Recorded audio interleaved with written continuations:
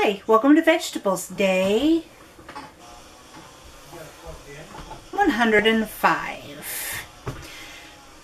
It's Therapy Thursday. So I did have physical therapy today. And now I have exercises to do.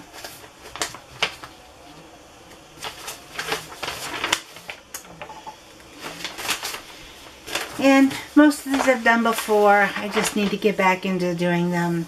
Um, the first one is lower trunk rotations. I'm supposed to do, repeat it 10 times, hold for a second, and complete two sets two times a day.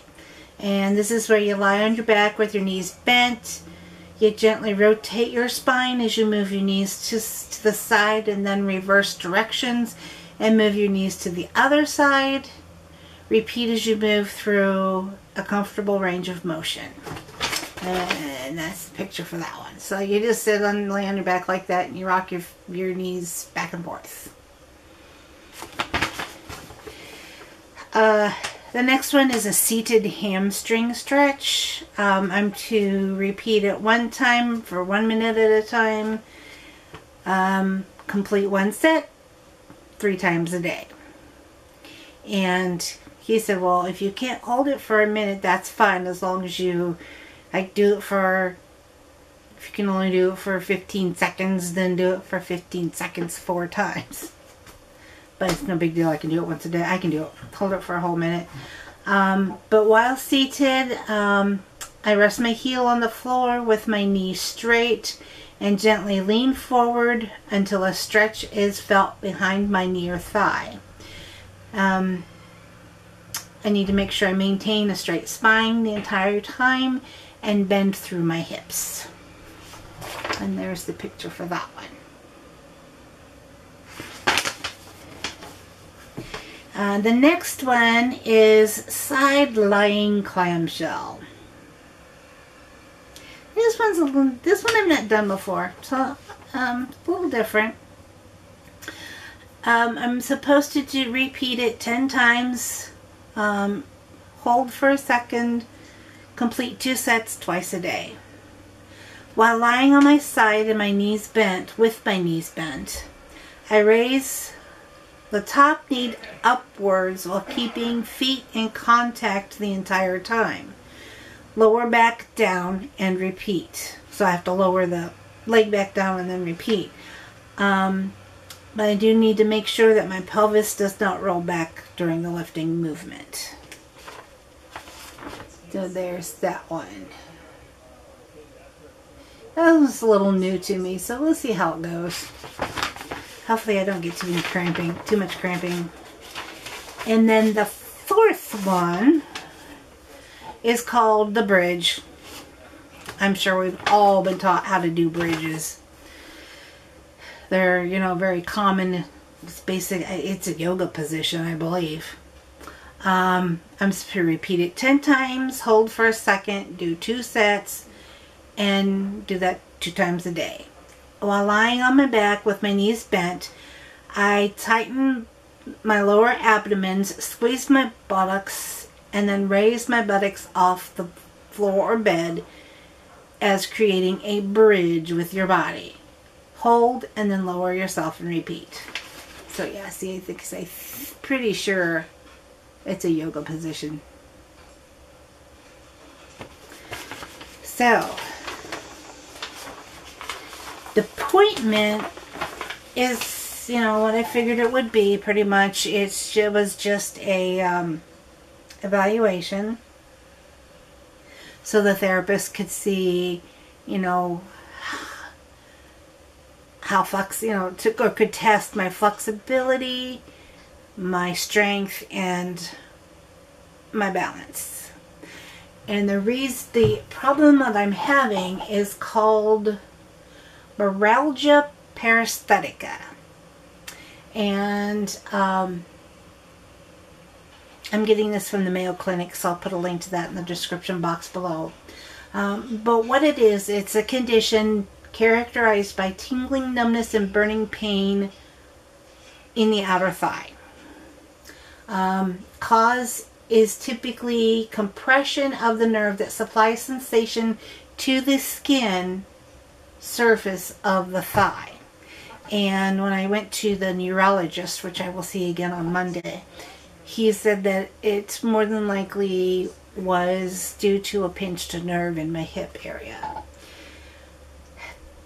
I think the biggest cause for me um, is because I'm so overweight. Um, but it could also be caused by tight clothing and pregnancy. Um, but it can also be due to local trauma or disease such as diabetes. Well, I don't have diabetes, but I do have the leukemia. So, you know, it could be a combination of the leukemia as well as the obesity. Um, in most cases, um, it can be relieved with conservative measures such as wearing looser clothing. I don't wear real tight clothing anyway. Haven't for a long time. Um, but treatment may include medications to re- to relieve discomfort and sometimes surgery, but surgery is very rare. Uh, I don't want to take any medications, and I've been suffering, you know, I've, I've had this condition for over 10 years. So I'm just trying to help it maybe get a little better. Um, the big problem I have with it is, of course, my endurance. So some days it doesn't bother me that bad, but other days, you know, I'm have trouble just doing daily tasks like cooking, cleaning, laundry. Don't usually have any problems bathing because of it, because I'm not on my feet for that long. Um, but you know, I mean, last this last summer I started painting my shed, and this summer I have to finish it. And if it gets too bad, I don't feel comfortable climbing the ladder to reach the you know the higher parts of of my shed. So hopefully you know, we can help that. Um, and where I, where I feel the most, it's in my right leg, and it's between my hip and my knee. And it's right on top of my thigh is where I have the, the symptoms. Um, and it's pressure on the lateral femoral cutaneous nerve. And um, I have, just like it says, tingling, numb, numbness, and the outer part of my thigh. Um, I can also have some burning pain. You know, when my when I get tired, my back really starts hurting. My leg will start hurting too, and it's it's a burning pain, like it's on fire. And it is commonly only on one side of the body.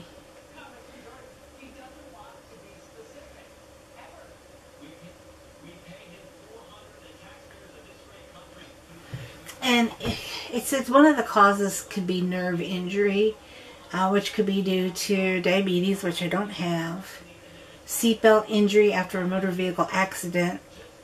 Um, I haven't had a vehicle accident since I was a child. I mean, one like that. I don't know. I've had a couple, but it didn't develop till you know a little later in life. But um, what's interesting is it mentions nerve injury. Oh, so I know that there have at least two or three times, at least three times uh, in the winter, I have slid and fell on my, you know, slid on the, not the ice. Ice I'm okay on. it's the, our front deck is of course wood. It's a deck. And the surface can sometimes get slippery and frosty, but it doesn't look frosty or slippery. And so you know, I'm more careful now, but there's been a few times where I've just walked out and bloop, down I went. and fell right on my tailbone. And, you know, my tailbone was still sore for a few days, so I'm wondering if maybe that's when it happened.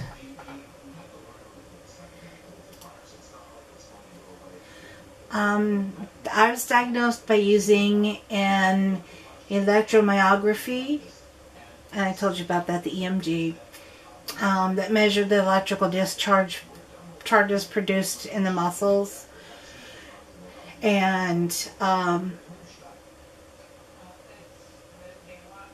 you know, the thin needle electrode is placed into the muscle to record electrical activity. And when the neurologist got to that part of my leg, I could not feel the needle go in. I could, er, other places, I mean, it's not like, it's no, I mean, it's,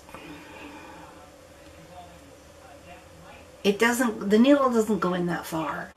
And it's not like a shot, you know, where like you get a shot or you get blood or give blood, you know, it's not, it's a much thinner needle than that. So you really, you know, you don't really feel it. It's just more like a prick.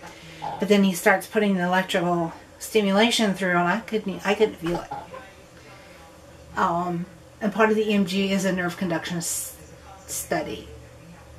Um, he did that as well. Um, treatment, conservative measures, losing excess weight. yeah, right. Not doing that well. Taking over-the-counter pain medicine such as, uh, you know, acetamin, ibuprofen, or aspirin. Um, so if it gets really bad, I do take aspirin. Um, wear, loose, wear looser clothing. Um, can't get much looser than the clothing I wear. Uh, medications, corticosteroid injections. I had one of those on the 11th of March and didn't make didn't put a dent in it. And then antidepressants, antidepressants such as um, the one they keep wanting trying to put me on is um, I forgot at the moment I can't think about it but, but I've had several doctors try to put me on this antidepressant and I'm like no, mm -mm. and then my mom takes gabapentin um, commonly known as Neurontin and it's actually an anti-seizure medicine and it says they might help lessen the painful symptoms. I know several people who have neuropathy that they've been prescribed the gabapentin and it didn't work. So I'm not even going to try it. Besides, I don't want any more medicines. Um, so, you know, we're trying physical therapy again to see if that helps. I don't know. We'll see. Um, and rarely surgery is done to decompress the nerve that is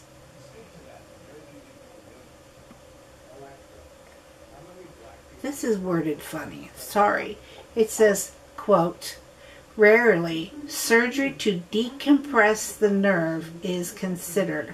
Oh okay. Makes sense now. See that's just part of my brain. I'll read something and I have to think about it to understand what it's saying. Um, this option is only for people with severe and long-lasting symptoms. So physical therapy doesn't work. I might have to go that route unless it's something I feel I can live with. But I really need to lose weight.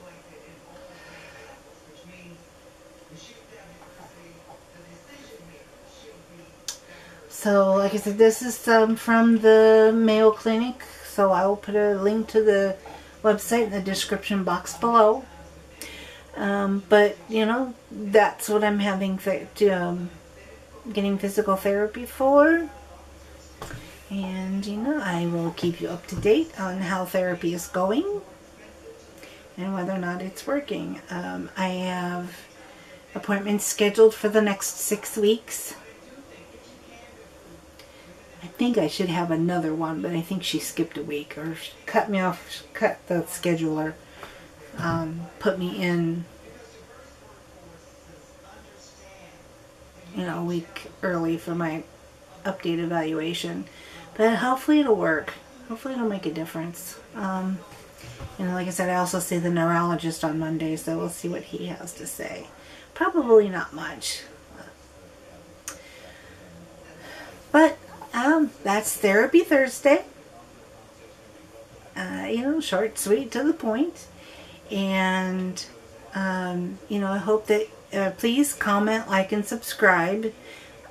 Um, hit that notification bell so that you know when I upload a video every day. And in the meantime, you enjoy the rest of your evening. Thank you so much for watching. And I will see you tomorrow for Foodie Friday.